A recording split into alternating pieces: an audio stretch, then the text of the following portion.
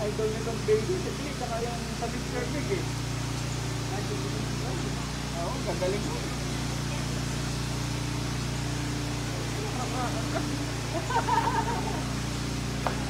Malimit na yata. Yun